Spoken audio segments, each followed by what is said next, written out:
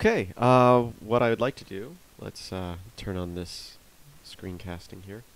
Okay, uh, first thing I'd like to do is something I keep forgetting to do in tutorials, and that's packaging the images. So let's choose this uh, plane here, which is our cursor, scroll down here, and package in that.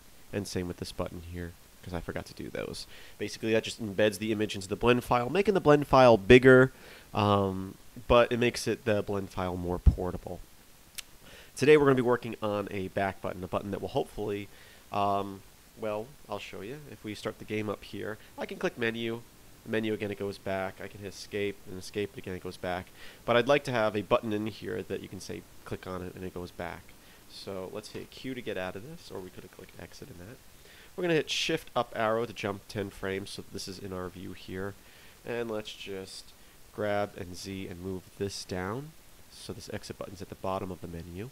Now, we don't have to worry about the animation of this um, button because there is no animation of the button. It's parented to the menu, which has the animation. So it doesn't matter where we move that. It's always going to follow the menu. Next, we're going to hit spacebar, and we're going to type in import plane uh, image as plane. Once again, if you didn't watch the earlier tutorials, this is an option um, that is installed but not enabled by default. You have to go up to File, User Preferences, and enable it. Make sure you watch earlier tutorials if you don't know how to do that. We're going to choose that. We're going to say, in this case, shadeless alpha pre-multiply, and I'm going to choose an image called button back PNG. Uh, you don't see it because it's in the background and it's laying flat, pointing up. So I'm going to say RX90 to rotate it 90 degrees on the x-axis, axes, and um, then I hit Control Alt Q to go into uh, quad view. Z makes it easier for me to see where the menu is, and I can now grab this button and bring it right in front of the menu. I can hit Z to go back into wireframe mode, camera view, and there's our back button. I'm going to scale it up, grab it, and move it here. To scale it up a little bit more. And I'm going to quickly save the game at this point. Uh, and I'm also, with that object selected, I'm going to apply rotation and scale just so we don't get anything funky things happening later. Now, with that button selected, I'm going to shift select the menu, control P, and parent the object. So now, if we shift down arrow and start the game,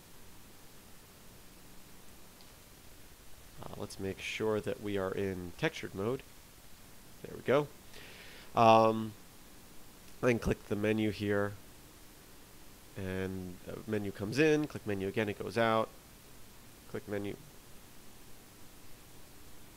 Hmm, that was a little bit of a glitch there. Seems to be working fine now. Maybe I just didn't give it enough time.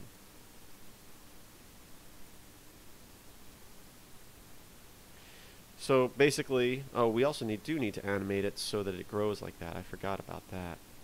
Um, so basically, we need to shrink it down. Let's do that before we program the button. So let's just say Q to exit out of that. Shift up arrow. And um, with that button selected, I'm going to hit I and set a keyframe for the scaling. I'm going to hit shift down arrow. You can see it up here still. I'm going to scale it down a little bit. I'm going to say I to set a keyframe there. And then we're going to set an option here so with that selected, I'm going to hover over our logic editor here and hit control up to make it full screen just so it's easier for you guys to see. And I'm going to say when mouse is over the button, connect that to that.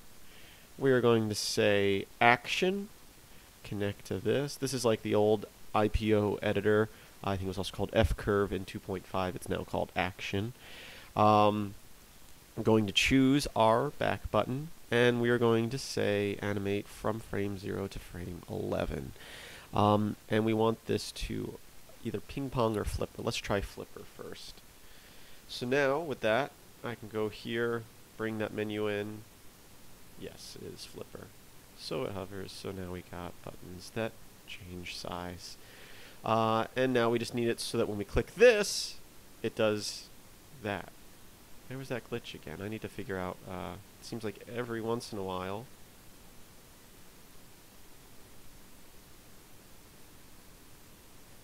Okay.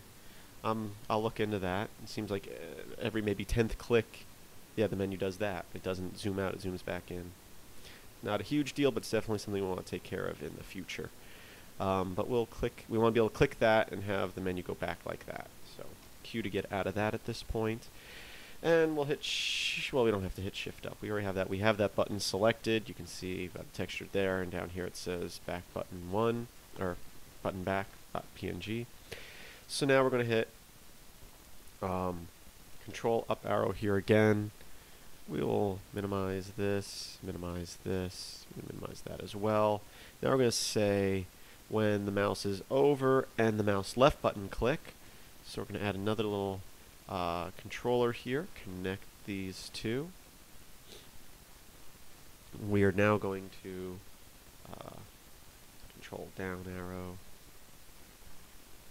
Let's shift select the menu there, control up here. So here is the menu here, and you can see there's an action right now for it to ping pong. Uh, we're actually going to uh, well, let's just try connecting to that and see how it works. Boom.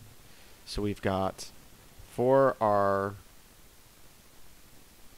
back button PNG, we've got uh, when the mouse is over and the mouse left button click, so it connected to that, we're going to continue this ping pong. So let's uh,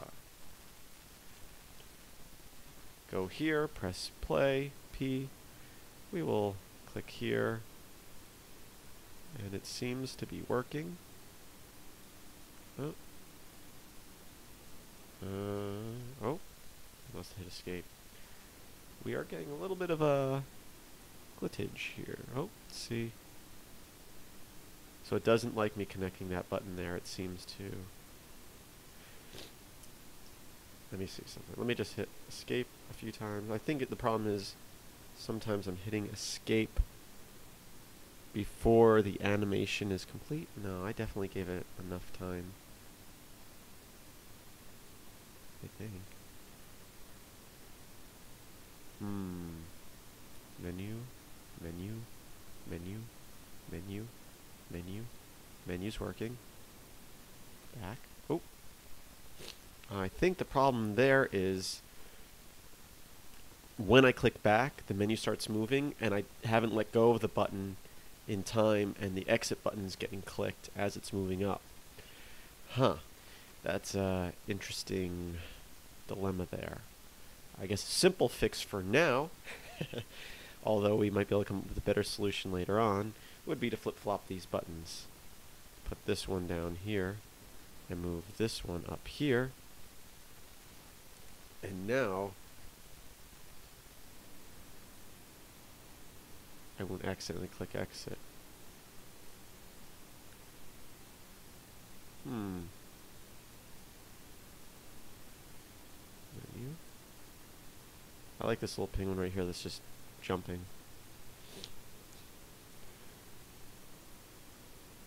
Maybe having multiple buttons that uh, do this is not a good idea. I'm pressing escape now.